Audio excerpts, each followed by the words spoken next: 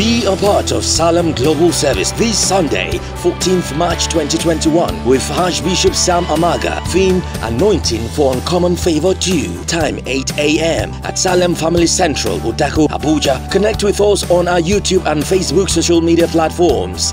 Jesus is Lord.